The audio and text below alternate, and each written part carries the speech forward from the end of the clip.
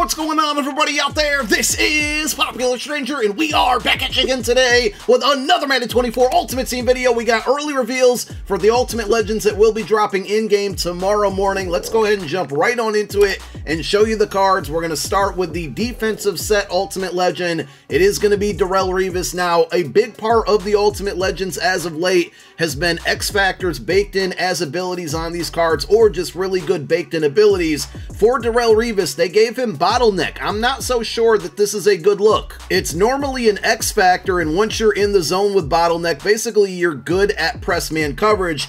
My only problem here, and I got to test it out and see for myself, but my only problem is that for the most part, press man coverages here is pretty bad. Now, will Bottleneck make it better or will it not? That remains to be seen because I don't think there's too many uh, people out there using the Bottleneck X Factor. If it's good, then this card will be very good because he's a man-to-man -man archetype.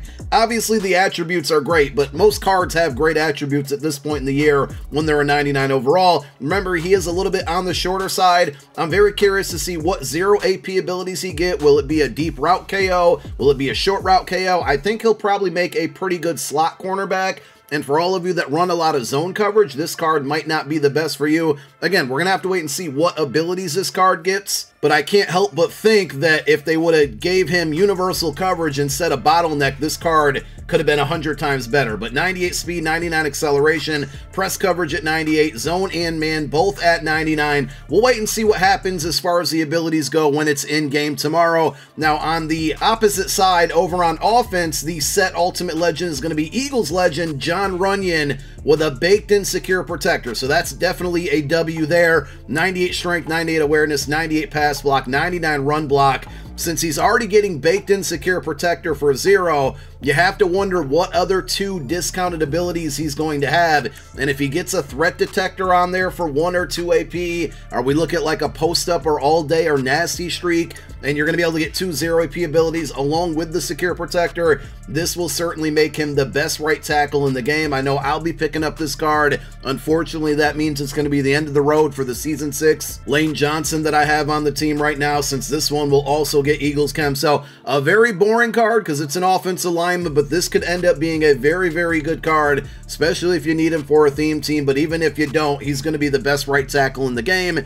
And then we have the LTD and Ronnie Lott, and this is another one that potentially could have been way better but I definitely like it. Now, it's kind of bad news because this is now the third LTD free safety that we've had in the Ultimate Legend promo, and over the last month or so, we had Brian Dawkins and we had Mike Renfield, and when they showed the teaser images for the Ultimate Legends, it was pretty clear that this one was going to be Ronnie Lott, but the biggest question was, will he be the LTD? And the answer is yes. So we have now a third LTD free safety. Maybe he brings the price down on the other two cards. Don't forget, there's still Golden Ticket Mean Joe Greene as well but I still see this card being somewhat expensive. His baked on ability, which is normally an X Factor, is going to be reinforcement. This will make him not only a good high safety for coverage, but also could be a pretty good sub linebacker. He is six foot even, but with reinforcement, when you're entered in the zone, in this case, because it's an ability, you'll always be in the zone, and it's not going to take an X Factor slot. Um, this is going to increase your chance of defeating run blocks, so that's going to be great as a sub linebacker and disrupting catches via tackle, so it's almost like a knockout ability. Again, obviously the attributes are really good here, 99 speed zone and hit power. And remember how good his Super Bowl card was for a very long time. If he gets a deep zone KO and a pick artist together for 0 AP, plus the reinforcement. Uh, we're looking at one of the best free safeties in the game. I think many would say Mean Joe Greene is still going to be the better card, but I think this card will end up being less expensive. I still think it's easily over a million coins, probably closer to 2 million coins, but you have a bunch of really high-end free safeties to choose from now in MUT 24. So earlier today, I put out a video going over the best free 99 overall Ultimate Legends to choose from this competitive Field Pass pack, and if you guys missed that video, be sure to go check it out, but we just want to give you an update now that we know what two new set Ultimate Legends are going to be in the game tomorrow. Today is Friday, which means we got brand new competitive pass objectives new MUT Champs objectives, new solo battles, new head-to-head seasons. That's going to mean more XP. More XP means more rewards. The further you can get down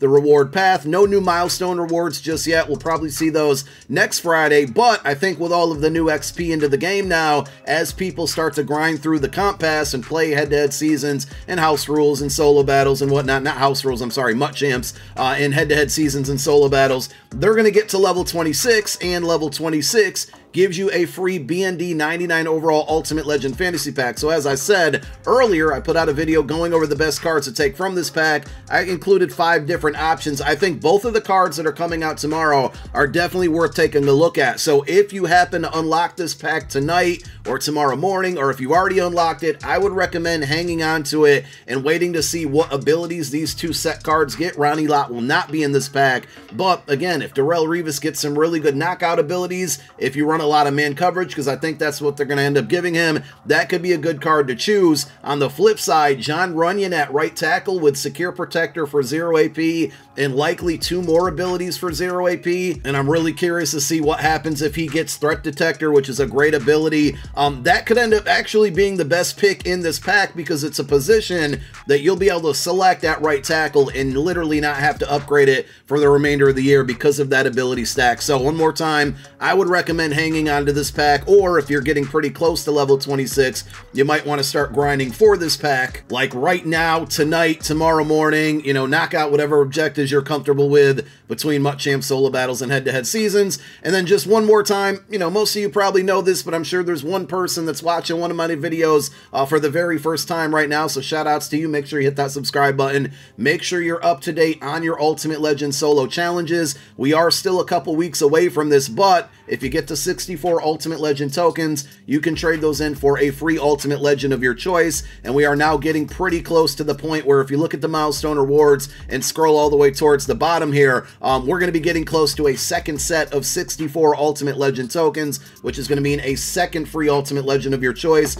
And there's no doubt that the two set cards that are coming out tomorrow would be included in that set redemption as well. But we got more cards on the way. I don't think this promo is going to end till late June, maybe even early July probably before College Football 25 comes out. And the way that these cards have been released over the last like month to a month and a half with these baked in abilities, and sometimes those abilities being X factors, these have turned into some of the best cards in the game, even over golden tickets. And no golden tickets tomorrow, by the way. Last Saturday was just kind of like a one time thing. Next drop for golden tickets will likely be this upcoming Tuesday, along with part two of Theme Team All Stars, and we'll see what other content we get next week. But we'll see you back tomorrow morning once this content's in game. We'll check out those abilities. Thank you for watching this one. My name is Popular Stranger. I'm out. Peace.